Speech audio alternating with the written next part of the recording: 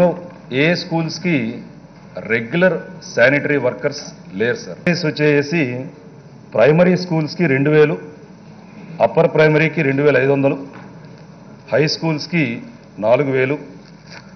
వీళ్ళ payment details చూస్తే sir వీళ్ళు దాదాపు ఇరవై మూడు నెలలు పన్నెండు నెలలు ముప్పై నెలలు పదకొండు నెలలు ఇరవై ఆరు నెలలు ఇన్ని నెలల నుంచి వాళ్ళకి జీతాలు లేవు సార్.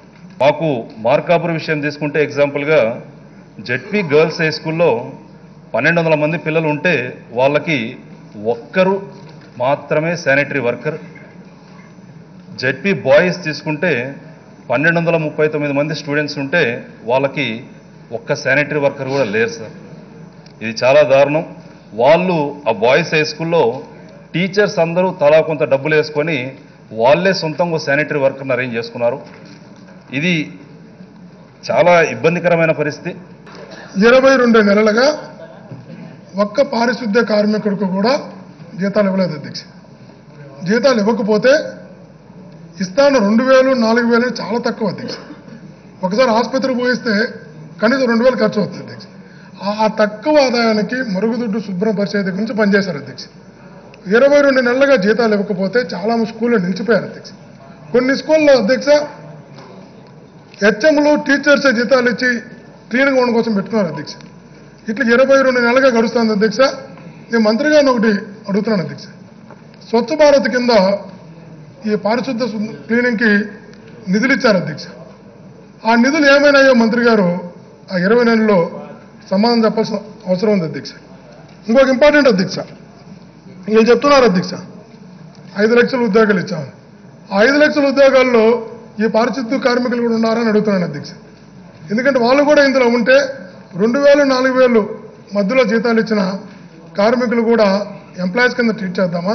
జీతాలే తీసుకోకుండా పనిచేసిన ఎంప్లాయీస్ కూడా ఐదు లక్షల్లో ఉన్న ఉద్యోగుల కింద ట్రీట్ చేద్దామా? సమానం చెప్పాలి అధ్యక్ష ఈ పాఠశాలలో ఉండే పరిస్థితి సుప్రీంకోర్టు వరకు పోయింది అధ్యక్ష. సుప్రీంకోర్టులో క్లియర్గా వాటర్ అండ్ టాయిలెట్స్ ఫెసిలిటీస్ కంపల్సరీగా మీరు చేయాలని చెప్పి సుప్రీంకోర్టు ఆదేశాలు ఉన్నా కూడా గత ఐదు సంవత్సరాల్లో సుప్రీంకోర్టు ఆదేశాలు కూడా బేఖాతరు చేసి సుప్రీంకోర్టు ఆదేశాలు కూడా గౌరవం లేకుండా చేసి అలాగే జరిగిపోయింది అధ్యక్ష. వీరికి కూడా బకాయిలు మన గౌరవనీయులు చెవిరెడ్డి భాస్కర్ రెడ్డి గారు చెప్పినట్టు దాదాపు ఇరవై నెలలకు పైగా బకాయిలు ఉన్నాయి.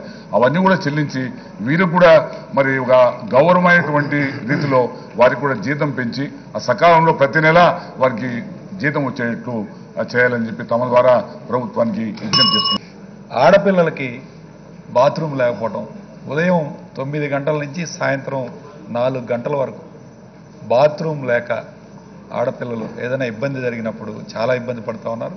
దయచేసి మంత్రివర్యులకు కోరేది ఏంటంటే కనీస వసతులు బాత్రూమ్లు ఉన్నా సరే మెయింటెనెన్స్ సరిగ్గా లేదు. రన్నింగ్ వాటర్ లేక చాలా ఇబ్బంది పడే కార్యక్రమం. కాబట్టి మినిమం బాత్రూమ్ ఫెసిలిటీస్ అట్లానే డ్రింకింగ్ వాటర్ అట్లానే కాంపౌండ్ వాళ్ళు వాచ్మ్యాన్ ఇవన్నీ కూడా బేసిక్గా ప్రతి స్కూల్కి కూడా ప్రొవైడ్ చేయాలని చెప్పి అలానే అమ్మఒడి కార్యక్రమం పెట్టిన తర్వాత అడ్మిషన్స్ విపరీతంగా పెరిగాయి. అడ్మిషన్స్ పెరిగిన తర్వాత ఇంకా ఇబ్బందిగా ఉంది.